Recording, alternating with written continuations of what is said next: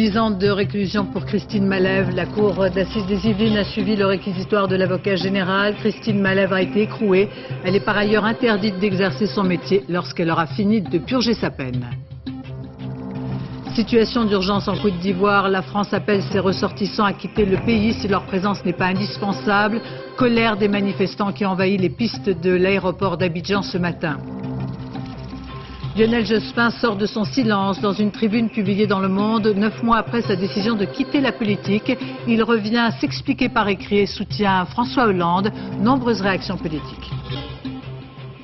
La neige un peu partout en France la nuit dernière, des difficultés encore dans la région de Lille. Après l'accalmie, Météo France annonce un bulletin d'alerte pour demain dans le nord, les Pyrénées et le centre notamment. Madame, Monsieur, bonsoir. C'est en fin de journée, après quatre heures de délibéré, que le verdict est tombé. Christine Malèvre est donc condamnée à 10 ans de prison. Les jurés de la Cour d'assises des Yvelines ont donc suivi l'avocat général rejetant la thèse de l'euthanasie. La défense, de son côté, avait plaidé l'acquittement. L'ex-infirmière de Mantes-la-Jolie est reconnue coupable de la mort de six des sept malades. Elle a été aussitôt incarcérée. Dominique Verdaillan. Sa première nuit en prison. Après 4 ans de liberté, Christine Malève, condamnée à 10 ans de réclusion criminelle, n'a effectué que 8 jours de détention provisoire. Un verdict accueilli dans le calme, sans cri, sans réaction, ni dans la salle, ni sur le banc des accusés. La sœur de Christine quitte le palais bouleversée. Charles Liman avait plaidé l'acquittement, il n'a pas été suivi. Je pense que c'est énorme, mais Christine Malèvre observera de sa prison le débat national qui s'est amplifié du fait de son sacrifice, observera de sa prison le débat national sur les soins palliatifs et l'euthanasie. En arrivant ce matin au palais de justice, Christine Mallet pensait avoir convaincu les jurés. Deux aides à mourir, deux actes de compassion, la Cour a retenu six assassinats. Malheureusement, je crois que c'était le seul moyen que l'hôpital et les soignants retrouvent leur dignité, puissent relever la tête, ne puissent pas être, avoir ce poids sur les épaules. En revanche, Christine Malèvre est acquittée pour le septième cas. Mon intime conviction reste faite. Elle ne changera pas, quitte à aller contre le, le cours de l'histoire. C'est clair qu'avec un verdict pareil, c'est-à-dire la condamnation d'une infirmière qui va de sa propre volonté donner la mort sans en parler aux familles, peut-être qu'on peut commencer enfin le débat de l'euthanasie. À la fin de son procès, Christine Malèvre a voulu s'adresser directement aux jurés. Je sais à quel point il est difficile de perdre un proche, je comprends la douleur des victimes, cette souffrance, je voudrais qu'elle serve aux autres infirmières. Un métier qu'elle a toujours voulu exercer dès son plus jeune âge. Mais ce soir, la cour d'assises, par décision exceptionnelle, lui a interdit d'exercer définitivement cette profession. Deuxième grand titre de ce journal, la situation particulièrement préoccupante en Côte d'Ivoire. Le Quai d'Orsay conseille ce soir à tous les ressortissants français de quitter le pays si leur présence n'est pas indispensable. Ce matin, des centaines de manifestants ont pris d'assaut les pistes de l'aéroport d'Abidjan, bloquant pendant plusieurs heures le départ de Français réfugiés à l'intérieur du bâtiment. Le drapeau tricolore a été incendié. Les patriotes en colère se sont finalement dispersés alors que les troupes françaises ont pris position. On compte ce soir un blessé dans les rangs français. Reportage de nos correspondants permanents, Éric Meunier, Sylvain Dauba. Ils avaient choisi de partir, d'aller souffler un peu en France après des journées d'inquiétude au rythme des manifestations anti-françaises. Aujourd'hui, ils restent bloqués, hagards ou choqués et ne comprennent pas. Ce pays, la Côte d'Ivoire, beaucoup le considèrent comme le leur, les Ivoiriens comme leur famille. Aujourd'hui, c'est sous la protection des soldats français que les Blancs s'en vont. Deux vols sont prévus ce matin, mais quelques centaines de manifestants en ont décidé autrement. Les slogans sont chargés de haine, hostiles à la France et au nouveau Premier ministre Seydou Diarra, imposé par elle au peuple ivoirien selon les protestateurs.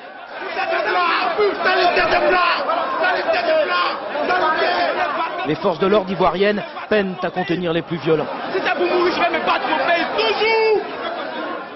À plusieurs reprises, on craindra les débordements.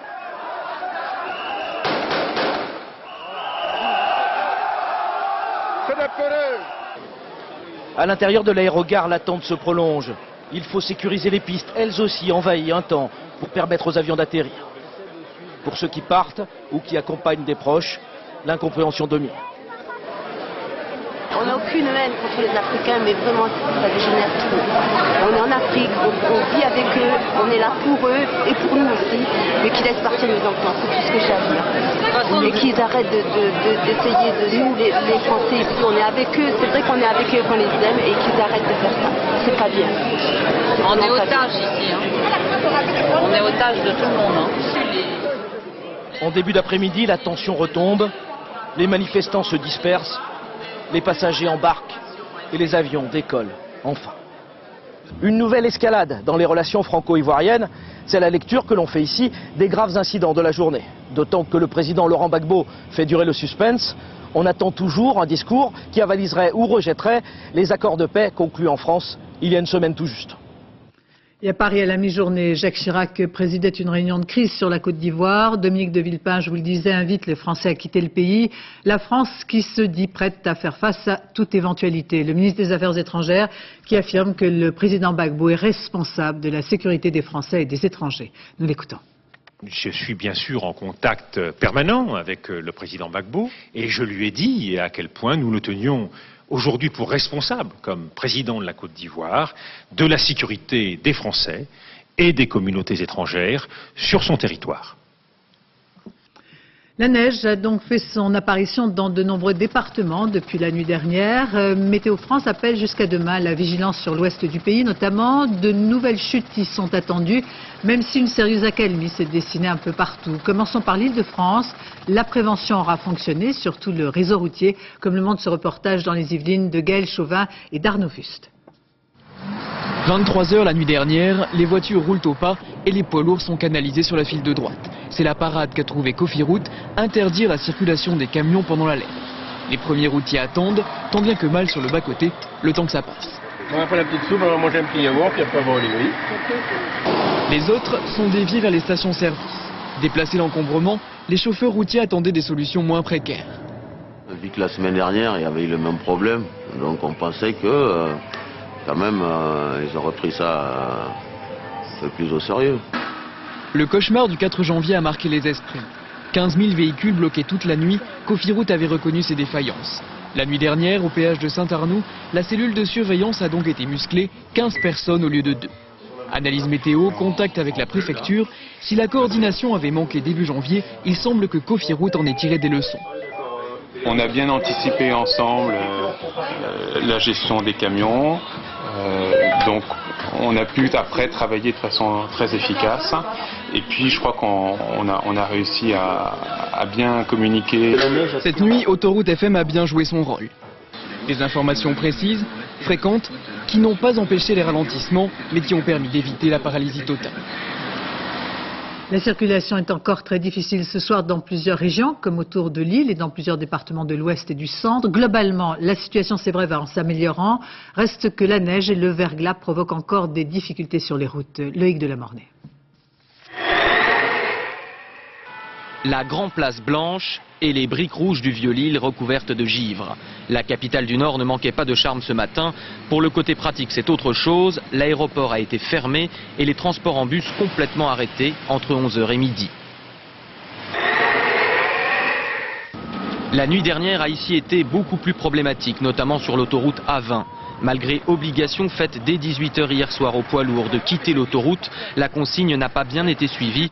Résultat, patinage et camions en travers des voies ont bloqué 2000 véhicules pendant des heures dans le blizzard. Si les routiers avaient respecté les consignes de sécurité, euh, il n'y aurait pas eu de problème, ou beaucoup moins.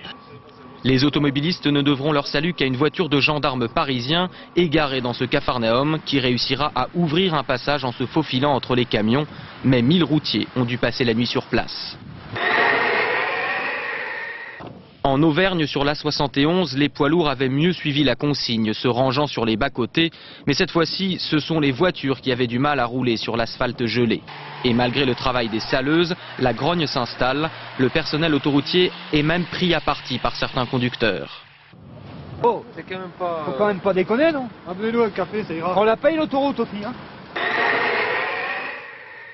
la bonne mère Notre-Dame de la Garde observe ses enfants engourdis. Toute la région a été recouverte d'une couche de neige jusqu'à 10 cm.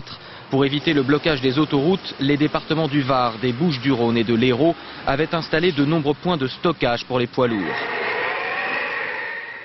Et puis allez pour finir, une jolie image d'Épinal, même si c'est en Eure-et-Loire. Récréation encore plus festive que d'habitude dans cette cour d'école. Les parents ont amené eux-mêmes leurs enfants en classe, puisque le ramassage scolaire n'avait pas pu être assuré en raison des flocons.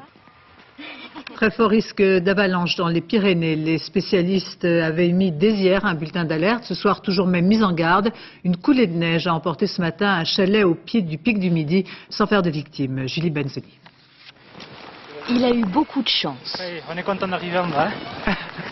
Après une nuit en montagne, cet homme a été retrouvé ce matin par les CRS. Ce jeune skieur de 19 ans s'est fait surprendre par une avalanche dans les Hautes-Pyrénées. Il est tombé 1,50 m de neige cette nuit sur le massif. Avec un vent violent, tout est fait pour favoriser les avalanches et se perdre en montagne. Même les gens du pays, on, ne peut pas se situer et se reconnaître là. Là, il y a des quantités de neige et des accumulations très importantes. Les Pyrénées sont habituées aux fortes chutes de neige, mais cette année, phénomène rare, elles ne touchent pas seulement la haute montagne. Les avalanches concernent aussi les pentes à moyenne et basse altitude. Ce matin, une importante coulée de neige a emporté un chalet et recouvert une cinquantaine de voitures. Les services de secours sont en état d'alerte. Demain, un redout risque de provoquer de nombreuses coulées en dessous de 1200 mètres. Ce sont donc tous les Pyrénées qui sont en état d'alerte maximum, risque 5. Dans les Alpes, le niveau du risque est classé 2 à 3, moins élevé, mais la vigilance est de mise. Chutes de neige et bourrasques sont attendues cette nuit et demain. Les pisteurs font leur possible pour sécuriser le domaine skiable. Les services de secours recommandent la plus grande vigilance aux automobilistes et aux skieurs pour décourager les plus intrépides. Ils ont hissé le drapeau noir. Voyons en détail ce que nous réserve le ciel pour les 24 heures à venir. Selon Météo en France, la neige pourrait toucher demain le nord, le nord-ouest, le centre, les Pyrénées, nous vous le disions, avec toujours des forts risques d'avalanche, et les Bouches-du-Rhône. Enfin, le mauvais temps n'a pas épargné le reste de l'Europe. En Angleterre, une belle pagaille hier soir à l'aéroport de Londres, fermé pour cause de verglas. Le trafic Eurostar a été perturbé. Et en Allemagne, ce sont des centaines d'accidents qui se sont produits. Le point avec Véronique Jean. Une autoroute transformée en parking géant pour automobilistes bloqués par la neige. Au Royaume-Uni, aujourd'hui, les réseaux routiers, ferroviaires et aériens ont été très perturbés. Ultime repli pour les imprudents qui ont pris le volant, les stations-service et une fois n'est pas coutume, les Anglais partagent l'avis des Français. Ce qu'on veut, c'est rentrer chez nous. Euh, je crois qu'on est tous fatigués et qu'on a simplement besoin d'aller au lit. En Espagne, des vents violents s'ajoutent aux chutes de neige. Tout le pays est en état d'alerte, à l'exception des régions d'Estrémadure et des Canaries. Plus de 200 villages de montagne restent isolés. Dans plusieurs villages, on a enregistré un record avec plus d'un mètre de neige. Des centaines d'accidents en Allemagne, des camions couchés sur les voies, des automobilistes bloqués. Les secours se sont activés toute la nuit dernière et toute la journée. Ce soir, les intempéries se sont calmées sur l'Europe, mais une nouvelle perturbation est prévue pour cette nuit. Une vingtaine de communes du bassin d'Arcachon et de la pointe du Médoc en Gironde ont porté plainte aujourd'hui contre la pollution provoquée par le prestige. Des boulettes d'hydrocarbures ont été repérées sur la côte basque, mais sont aussitôt reparties, emportées au large par la tempête. Après l'agression d'un surveillant il y a dix jours au lycée de Goussainville dans le Val d'Oise, la plupart des professeurs et surveillants ont décidé de suspendre, vous le savez, leurs cours. Une délégation reçue au ministère de l'Éducation est ressortie plus déçue et plus en colère qu'elle n'était arrivée. Voici pourquoi. Reportage Yann Jiquel, Caroline Boiteau, François-Julien Piednoir. Des éclats de voix dans la cour du ministère de l'Éducation. Les enseignants délégués du lycée Romain Roland étaient convoqués ce matin à Paris par un représentant du ministre. Et le moins que l'on puisse dire, c'est que ça s'est très mal passé. Je suis outré. Je suis outré parce que là, pour une fois, je me sens encore plus méprisé par ma hiérarchie que par les intrus de Goussainville on avait en face euh, une autorité qui est notre hiérarchie et qui refusait de reconnaître euh, un fait simple, c'est que les élèves ne sont pas en sécurité, les surveillants ne sont pas en sécurité et l'ensemble du personnel n'est pas en sécurité. C'est quand même, ça frise la démence. Il faut dire que leur lycée c'est ça, des caméras, des grillages, des portes renforcées, un commissariat juste en face. Pour les 1250 élèves et 150 professeurs, tout ou presque a été tenté classés en zone prioritaire, puis en zone sensible ou encore en zone de prévention violence, rien n'y fait. Le lycée subit 40 intrusions par jour, du racket, des voies de fait, et l'agression de la semaine dernière a été celle de trop. Les enseignants attendent des solutions de fond. Après le compte-rendu de la réunion ministère, il n'a pas fallu débattre longtemps pour revoter massivement la poursuite du mouvement jusqu'à lundi. La dernière mine de charbon du Midi va fermer à Gardanne après quatre siècles d'existence. Les mineurs, pour leur dernier jour, ont manifesté leur désespoir et leur rage en bloquant tout accès au site. Les gueules noires qui cet après-midi s'en sont pris à la permanence d'un député UMP, un vent de colère après la décision de fermer deux ans plus tôt que prévu la mine de charbon. Yannick Aroussi leur en dit Christophe Larocca. Une fumée noire dans le ciel de Gardanne, le signal des mineurs est clair, le puits ne fermera pas. Personne n'est descendu au fond pour ce dernier jour d'exploitation, mais la CGT entend dès lundi remonter du charbon. Pour mieux faire passer le message, un petit groupe d'hommes s'est attaqué à la permanence du député UMP de la circonscription. Le message, à mon avis, est un message qui s'adresse à l'ensemble de la majorité présidentielle. Euh, maintenant, bon, ben, c'est le député qu'ils avaient sous la main, c'est nous qui avons trinqué, quoi. Les mineurs n'encaissent pas la fin programmée de l'activité. Pour la direction, la mine n'est plus rentable. 64 millions d'euros de pertes l'année dernière. On a pourtant connu ici jusqu'à 6000 salariés dans l'après-guerre. Aujourd'hui, le matériel est moderne, les réserves de charbon importantes, alors certains dénoncent une véritable casse de l'outil de travail. À mon avis, c'est une gâchis pour les, pour les générations à venir en tout cas.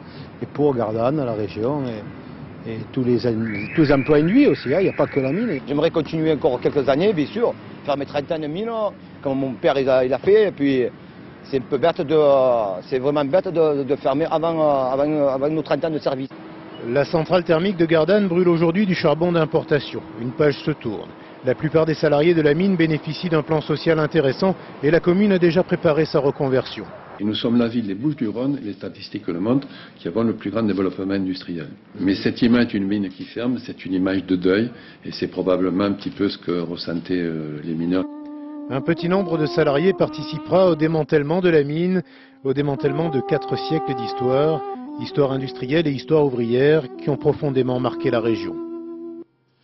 C'est lundi que le grand chantier des retraites connaîtra son coup d'envoi. À la veille donc de cette réforme ô combien difficile, de nombreuses manifestations sont prévues demain partout en France. Une journée d'action que suivront bien évidemment les cheminots, déjà leaders lors des précédents mouvements.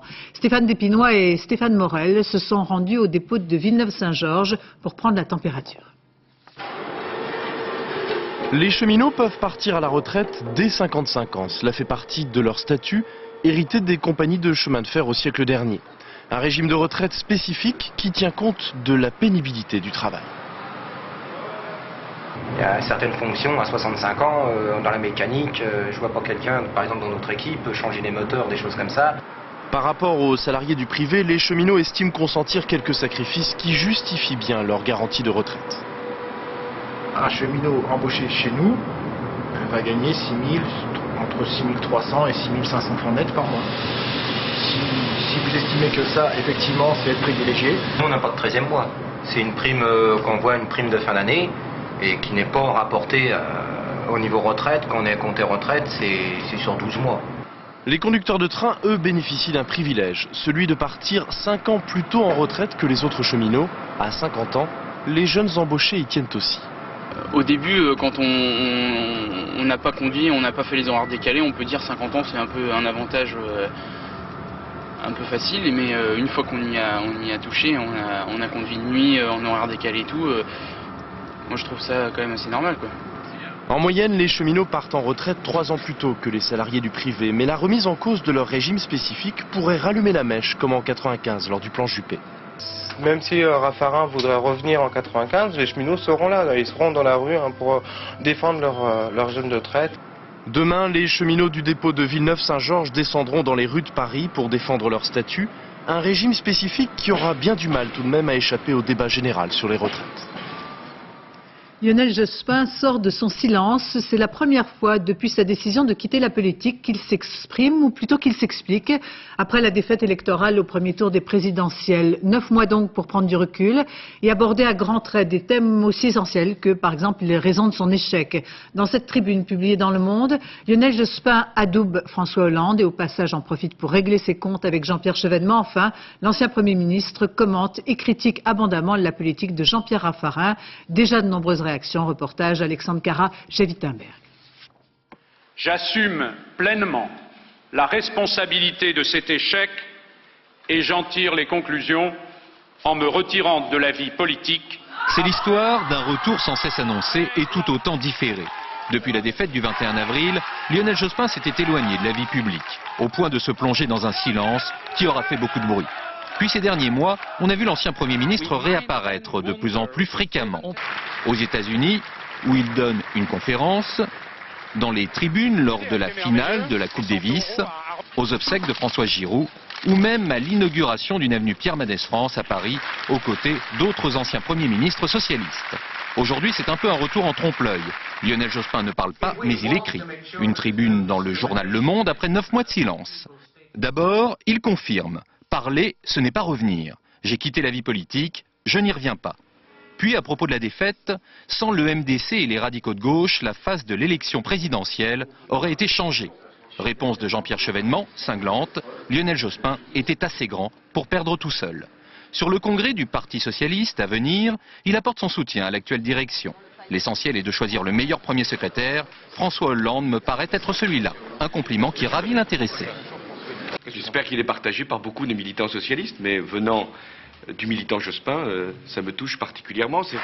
Pour le gouvernement Raffarin, Lionel Jospin n'est pas tendre. Il sera jugé sur la durée. Il ne lui suffira pas d'être anti-Jospin sur le fond et anti-Juppé dans la forme. Retour percutant côté gouvernement. Les Français ont déjà noté la copie de M. Jospin, ils lui ont pas donné la moyenne.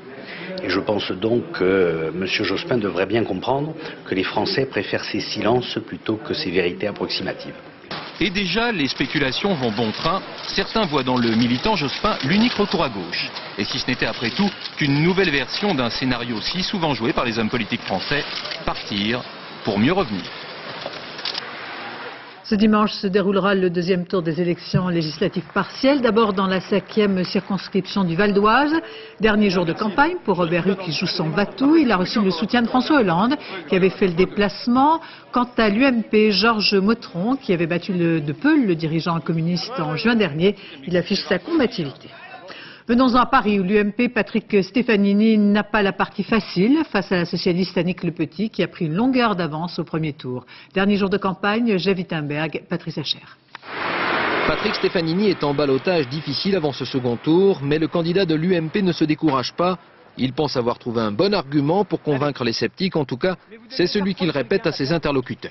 Vous avez vu nos deux présidents de comité de soutien, ah Françoise de Panafieux et Alain Prost. Françoise de Panafieux, le maire du 17e, et Alain Prost. Il a gagné quatre fois le championnat du monde de Formule 1. Hein, donc c'est un grand champion de sport automobile. Et le champion le voilà, un soutien en forme d'apothéose qui vient conclure la longue liste des invités de Patrick Stefanini durant cette campagne. Neuf ministres, dont le premier d'entre eux, c'était hier soir. Attention, qu'est-ce qui n'a pas pris cette tomate là Curieusement, la candidate socialiste y trouve elle aussi son compte. Elle qui joue à contrario la simplicité très étudiée. Madame la députée sortante se déplace en bus et ironise. Euh, les habitants euh, savent qu'ils euh, doivent voter pour un député ou une députée, pas pour un ministre. Mais le candidat UMP, lui, les estime utiles, ces visites. C'est l'indication de la priorité que, je l'espère, le gouvernement accordera à ces quartiers. Le gouvernement, Annick Le Petit a quand même fini par en parler en cette fin de campagne, elle qui ne voulait pas sortir de l'enjeu local avant le premier tour. Ce gouvernement a beaucoup de contradictions. Pour le moment, les gens sont plutôt en attente de ce que va faire ce gouvernement, mais le réveil risque d'être difficile. À peine plus d'un électeur sur trois s'était déplacé dimanche dernier. S'ils se mobilisent, les abstentionnistes seront les arbitres de ce duel droite-gauche, au résultat très attendu. L'ancien PDG d'Elf, Loïc Lefloc-Prigent, s'est présenté ce matin au Palais de justice de Paris, a été aussitôt écroué. Il a été condamné mercredi dernier à deux ans et demi de prison ferme. Ses avocats avaient toujours affirmé qu'il n'avait aucune volonté de fuir. Ce délai lui a été nécessaire pour raison de santé. Aux États-Unis, Richard Reed, l'homme qui avait essayé de faire exploser le vol Paris-Miami à l'aide d'une chaussure piégée, a été condamné à la prison à perpétuité. Pendant son procès, il a revendiqué son appartenance au réseau terroriste Al-Qaïda. Revenons sur la fameuse lettre des huit pays européens qui, hier, en parlant d'une seule voix, ont soutenu les États-Unis dans la crise irakienne, isolant Paris et Berlin. Aujourd'hui, le Premier ministre espagnol, José María Aznar, déclare qu'il ne s'agit quand même pas d'un délit. L'Amérique qui profite de ces divisions quand elle ne les suscite pas. Certains commentateurs y voient même la patte de la Maison-Blanche. Les États-Unis utilisent la propagande, y compris à destination de l'Irak. Étienne Lénart. Des images difficiles, des images de propagande captées par un service d'écoute au Proche-Orient et qui montrent des soldats irakiens maltraitant leurs prisonniers. Le texte est dit en arabe classique, mais la commentatrice n'a pas d'accent irakien. Levez-vous, dit-elle, combattez Saddam et sa tyrannie.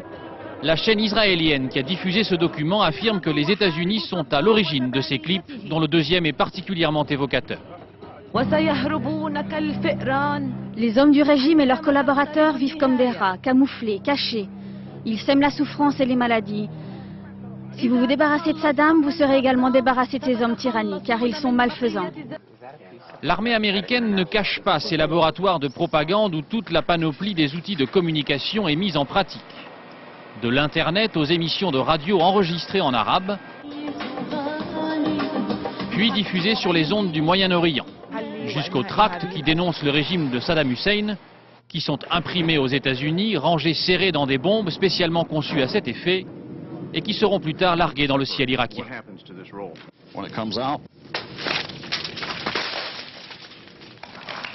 Pour mieux vendre l'image des États-Unis dans le monde, la Maison-Blanche a même embauché il y a un an et demi cette publicitaire de renom, Charlotte Beers, présentée comme une dame de fer qui note les journalistes selon leur volonté de coopération elle garde son sourire en toutes circonstances et ne manque pas de répartie,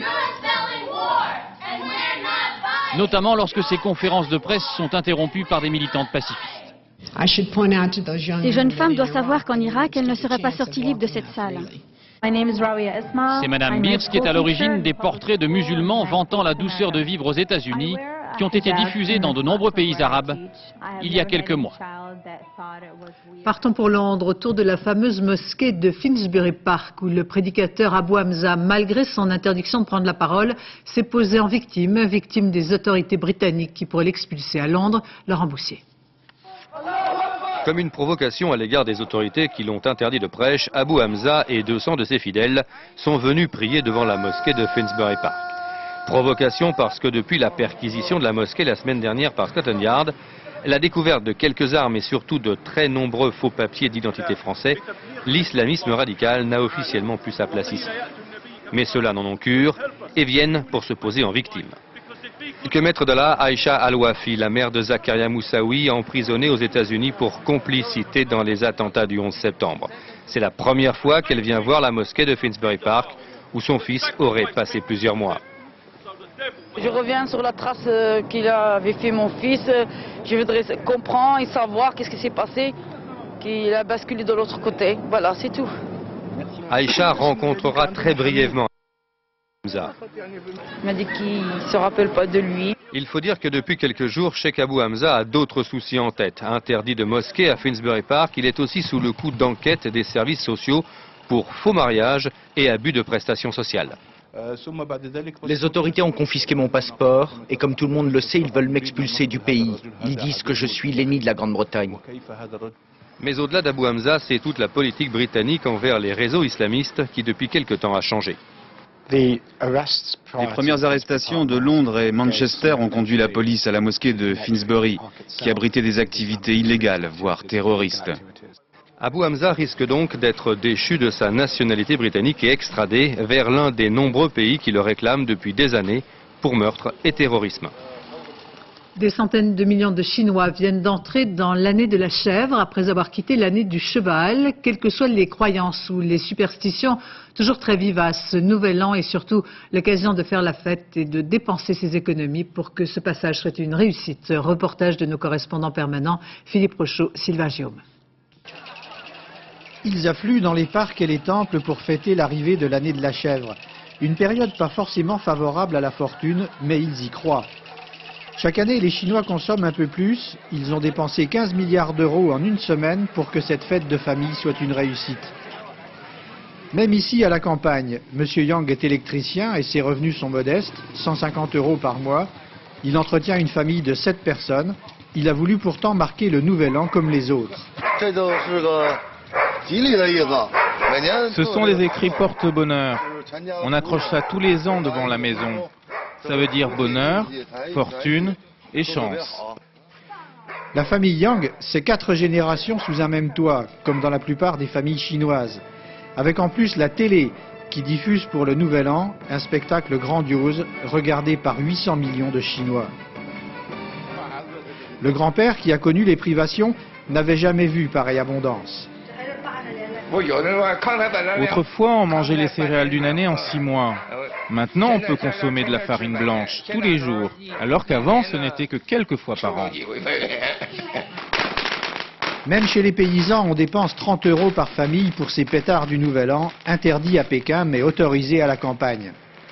À la campagne, où viennent les familles des défunts pour brûler ces papiers, symboles d'argent, afin que les morts prennent part eux aussi à la fête. À chaque nouvelle année, on achète des vêtements, on dépense de l'argent, alors on veut aussi que nos morts en profitent. Mais avec ces feux, avec ces pétards, les Chinois veulent avant tout chasser les démons et faire venir le printemps. Lancement d'une campagne contre le tourisme sexuel partout dans les agences de voyage françaises, mais aussi à bord des avions. C'est la deuxième édition. Le but de cette campagne, rappeler à chacun qu'il existe désormais une loi qui punit tout agissement à caractère pédophile à l'étranger. Maud et Philippe Jasselin.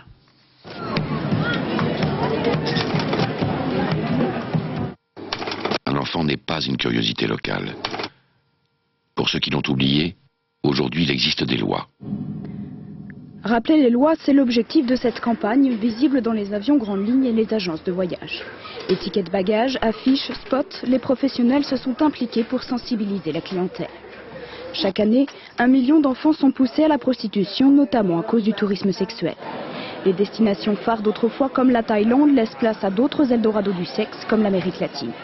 Profil du touriste sexuel, monsieur et madame tout le monde. Beaucoup de touristes sont des touristes sexuels occasionnels, c'est-à-dire des touristes qui ne partent pas du tout dans le but d'exploiter des enfants, qui n'ont pas de préférence sexuelle pour des enfants ou pour des adolescents, mais qui, une fois sur place, vont passer à l'acte. Car loin de son pays, le touriste croit agir en toute impunité. Erreur, la loi française s'applique aussi pour des actes commis hors de nos frontières, mais la plupart des Français n'en savent rien. Cette étudiante en tourisme a interrogé à l'aéroport Charles de Gaulle des voyageurs sur le départ. Pour certaines personnes, c'est pas du tout punissable. Et pour les personnes pour qui c'est punissable, c'est également variable. Ça peut aller de 1 an de prison à 20 ans et voire plus. Euh, ils n'ont aucune idée des peines encourue. Avec d'autres étudiantes, elle a donc décidé de réaliser un spot d'information pour cette campagne, afin de rappeler qu'en France, la loi prévoit pour tout Français coupable d'atteinte sexuelle sur un enfant à l'étranger une peine de 10 ans d'emprisonnement.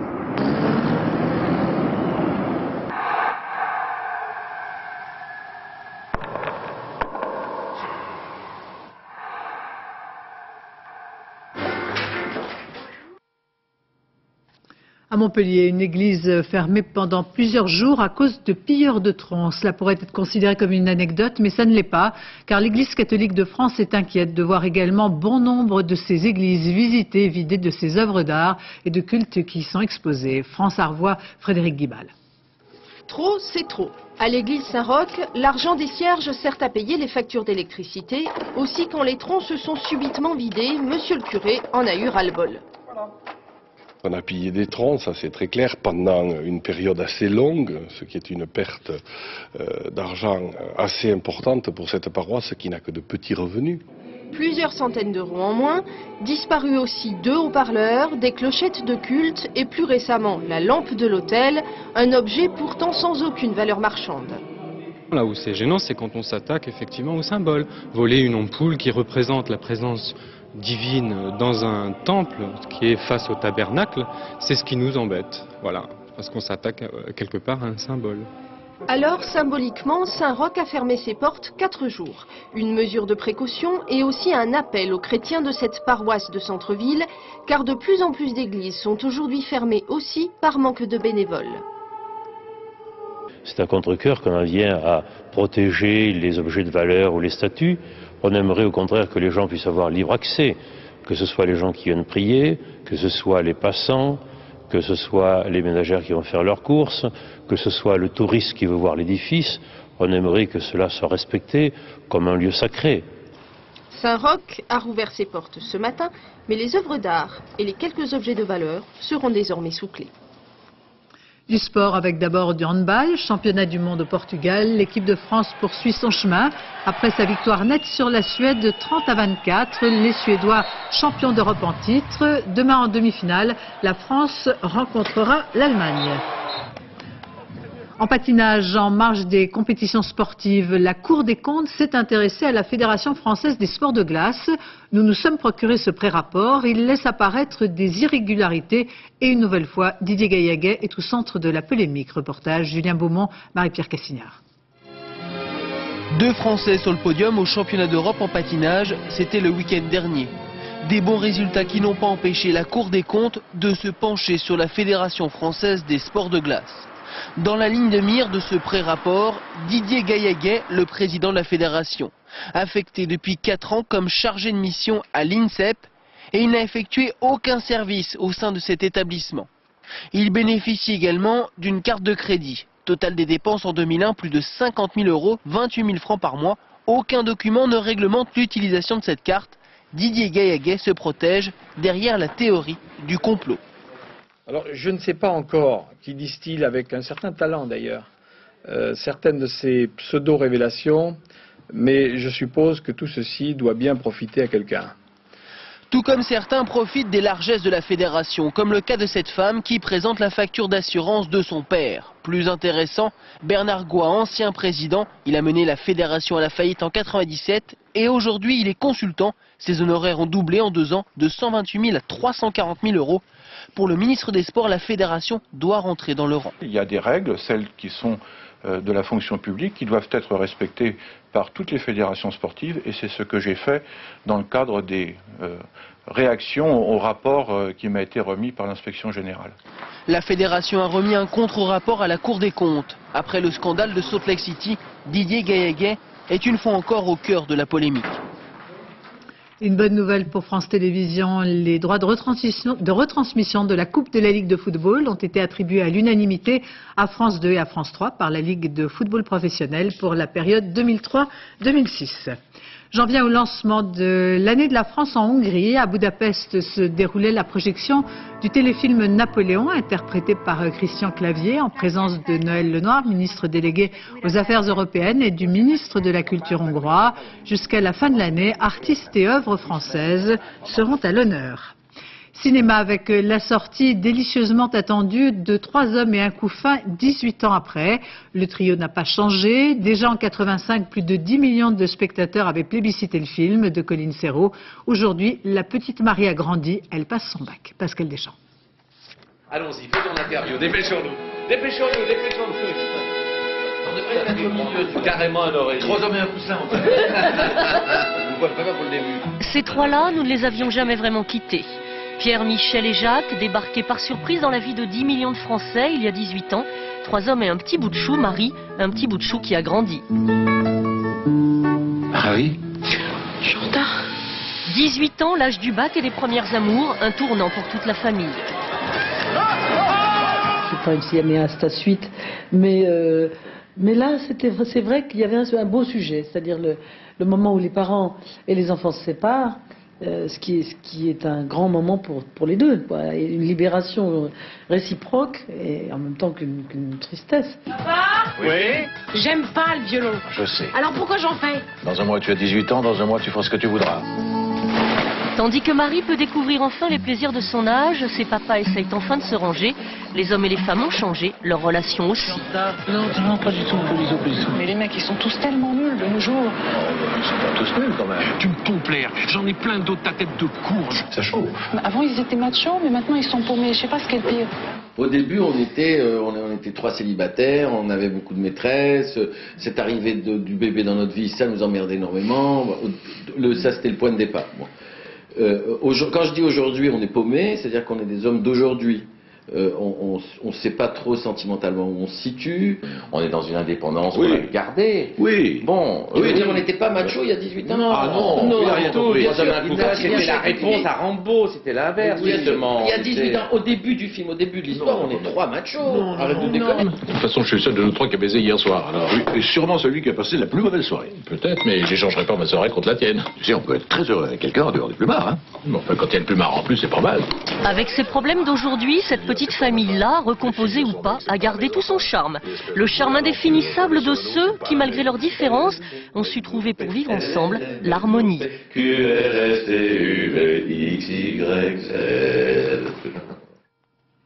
Le film Taxi 3 sorti cette semaine est déjà un succès. Taxi 3, c'est un film mais également une musique qui réunit toute la jeune génération du hip-hop français. Les bandes originales de Taxi 1 et Taxi 2 s'étaient écoulées chacune à plus de 300 000 exemplaires. Parmi les invités, Doc Gineco. Reportage Olivier Leniza, Édouard Perrin. Taxi 3, baby. Moteur, on tourne, action. Mon existence, microfilm d'action. Marseille, au premier plan du générique. Doc Gineco au volant du taxi de Sami Nasseri. Ah, J'ai loupé la chicane, tout là. Je pense que la vitesse sur un circuit c'est fantastique. Mais sur la route c'est inutile. Tout est écrit comme dit le script. Doc Gineco invité à participer à la bande originale du film Taxi 3. Jeune premier au mic, dans la rue je décrypte. C'est trippant d'avoir sa musique dans un film au cinéma. C'est une autre écoute, c'est THX. Mais.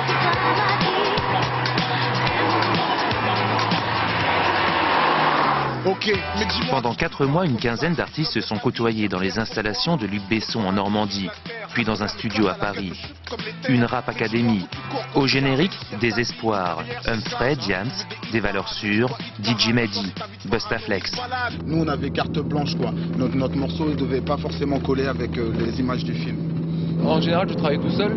Et là, on travaillait en groupe et on, on s'apportait de l'énergie entre nous et c'était euh, enrichissant. sur place, je crois. C'est euh, c'est un honneur quoi d'être appelé en tant qu'artiste sur ce genre de BO.